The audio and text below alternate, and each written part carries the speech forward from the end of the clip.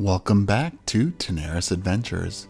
When I was visiting Brazil this spring, I got a chance to sit down with five employees from Dragori Games, and I asked them a series of questions to all of them to get a better idea of who they are and what interests them in developing a deep game like Tanares Adventures and a massive world like Tanares RPG. I hope this look into the people of Dragori gives you a better insight into what drives these guys into developing dungeon crawler board games and RPG adventures. Welcome back to part four of the interview series. Today is Dan. He is one of the three main directors of Dragori, so the th- original three guys that started the company. Uh, one little fact is uh, Dan was a chess champion when uh, he was younger, and uh, he's definitely the driving force at Dragori for all those little fun puzzles and riddles that you find throughout Arena the Contest, and that uh, will definitely exist in Tanares Adventures. He is uh, the force behind that.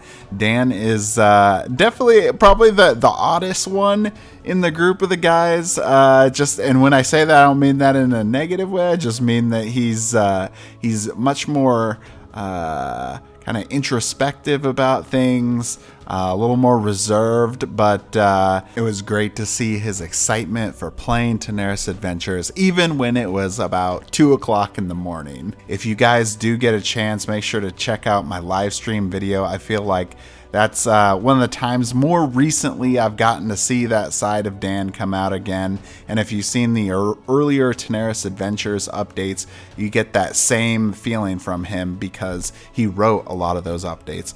Anyway, Dan is coming up. I hope you guys enjoy it. All right, welcome. Uh, so, what's your name and what's your role at Dragori Games?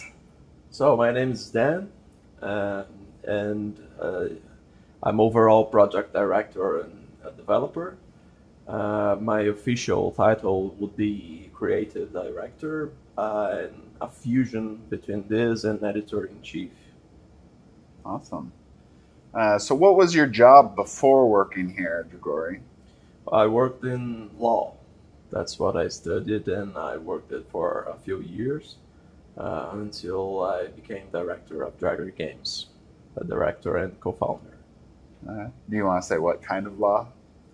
Yeah, it's labor law. Uh, before that, I was a lawyer uh, for one year only. I was a lawyer and I worked with all kinds of uh, different branches. All right. So, what are your interests outside of gaming? Oh, I kind of don't. If you ask me, what are your other interests besides? Uh, well, don't worry. There's a gaming one too. Yeah, I like to, I like to read and watch movies, uh, TV shows. That's basically it. Okay.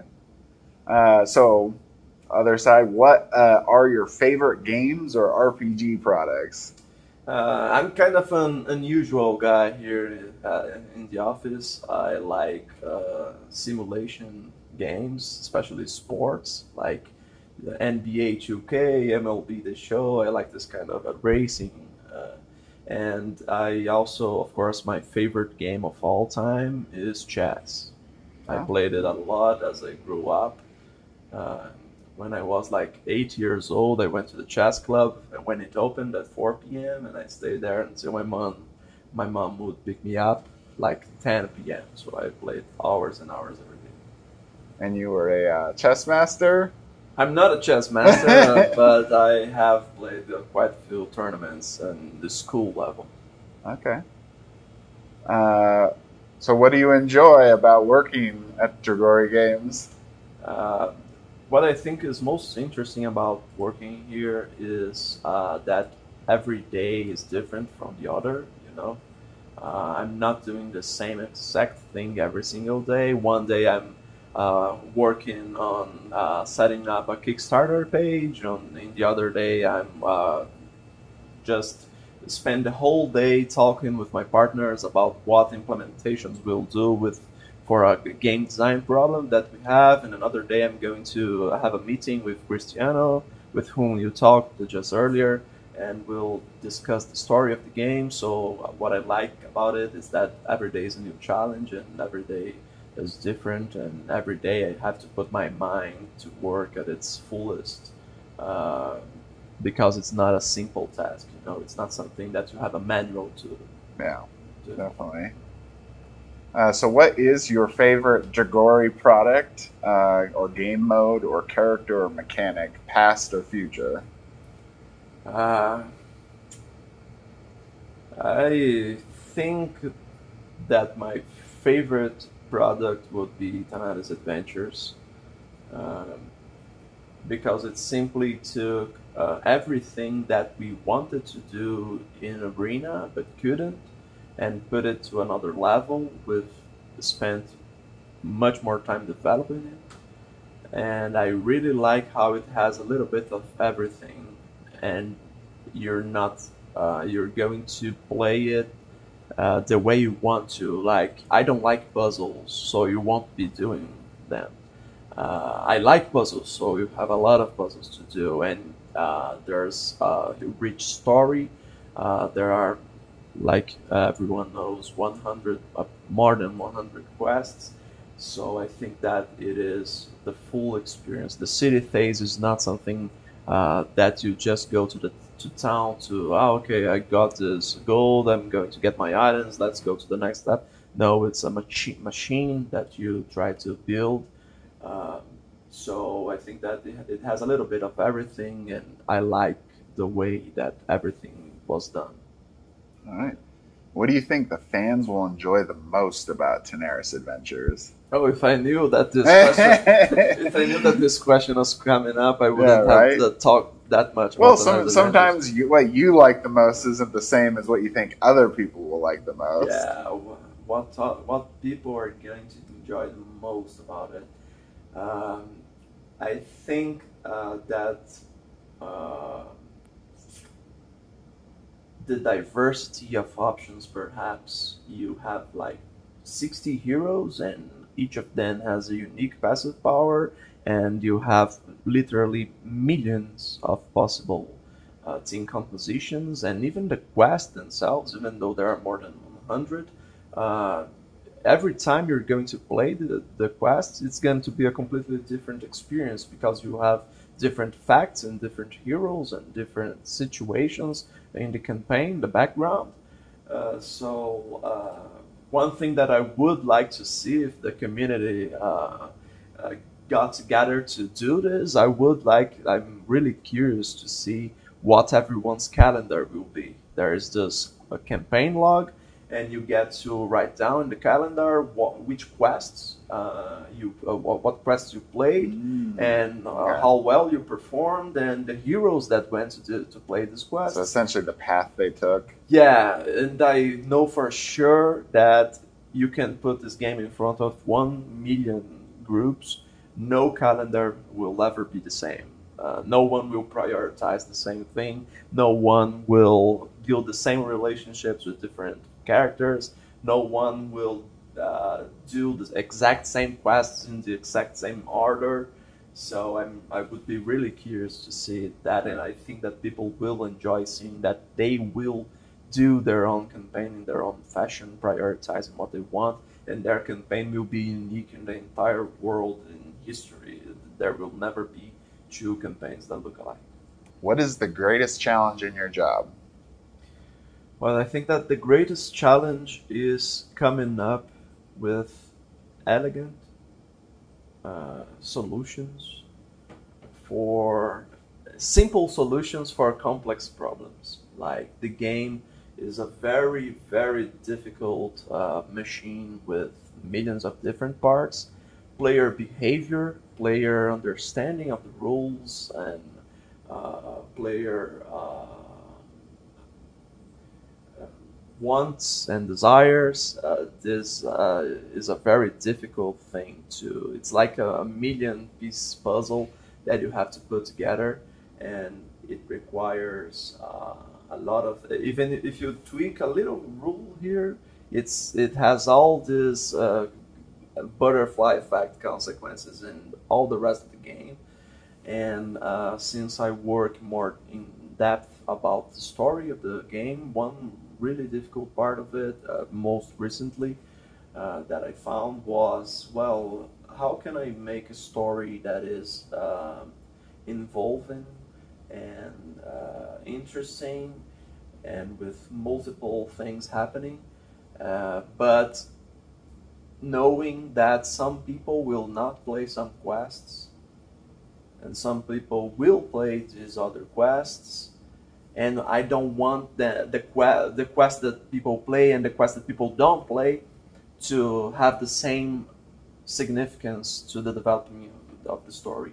So that is that was a, diff- a very difficult process to understand how I can make people experience the story and not get lost, and knowing that perhaps they will not experience a part of the story, and that cannot be taken uh, as a premise to talk about something else in another week in the in the campaign, for example.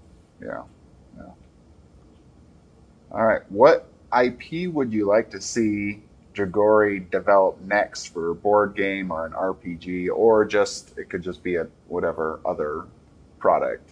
Yeah, one thing that uh, I know it's almost inconceivable because I've never heard of this company uh, uh, doing licensing for other companies is uh, anything by Square Enix. I I grew up playing practically every single Final Fantasy game there is, and uh, I really I would really be ecstatic if I could develop uh, like a Final Fantasy Tactics game or something like that. Uh, that would be a really cool board game project. But I know that it is maybe a distant dream because I've never seen uh, anything being licensed to third parties. Yeah. Um, what is the D and D or design philosophy for the RPG module? Um, like, what kind of DM and players did you have in mind when writing it? Yeah, we are kind of if you if you take a look at the other games that we've developed, if you take a look at how many game modes there are for Arena Contest, for example, there are so many different game modes. Uh, I, we try to encompass and to include everyone always. So uh, we're making the the books uh, for the RPG. Um, of course, since it's uh, like since you need the core rule books um, to even begin uh, taking a look at ours, uh, there is a level of complexity that is assumed, but uh, we're trying to make it so that experienced dungeon masters, experienced masters, they can uh, have a blast uh, doing like the most interesting adventure they ever saw printed on a book. But we know and we work really hard uh, to include people who are just beginning because we are doing kind of this bridge, you know. Uh, we have a lot of people in our community, they are board gamers, they have never played RPG. And we know that there are people in the RPG community that, that took a glance at our project, got interested, and maybe they will want to uh, get involved in board gaming. So everything we do is to increase the community, and so uh, this was our philosophy. Well, let's give options to the experienced players, but let let's make it playable and interesting uh, to the uh, to the newcomers. Yeah. Uh, who is your favorite character, uh, either past, present, maybe, maybe to e- either design and why? Uh, I think it's the wizard, Abaddon. I don't. I, I, I think that on the board is a blast to play. Uh, you can manipulate movements of the different combatants, and you can uh, attack more than one enemy at the same time. I really think that's nice. And uh, he's also a very interesting character that has many opportunities for uh, developing both in the RPG and in the story of the board game as well. So I think he's a very. If you take a look at him, you say, "Well, okay, it's a wizard. Like, what is different about him?" But I really enjoy everything that we're creating about him for the project. Awesome. Uh, last question. What was your main inspiration for the world of Tanares? Um, I think that's that's kind of a, of a difficult question. It's really like uh, since it's a very rich world, I'd say that different parts of it were inspired in different uh, different other projects and different other worlds. Um, we tr- really try to take what's best, what we like best of our, of our references and everything we grew up with to create a really uh, new, unique world uh, with many different aspects that you can see anywhere else. So that's that that's really a, a difficult question to say. All right. Well, thanks, Dan, for doing the interview. Thank you so much.